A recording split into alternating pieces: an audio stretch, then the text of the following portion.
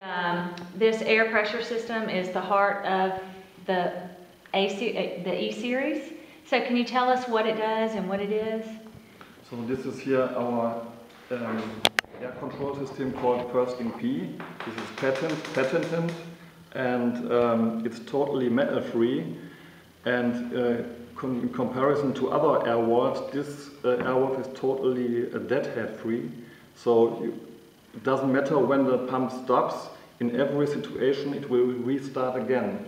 Competitors have sometimes problems uh, that the pump, that the air control system is blocked and that the pumps still don't run anymore.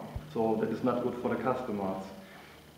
And this air control sy- system sits in the middle of the pump and um, the air, the air goes from the middle of the center block into this air control system and it moves the air to the right side of the pump when then the diaphragm makes its discharge stroke and then the air goes to the left side of the pump and the other diaphragm makes its uh, discharge stroke.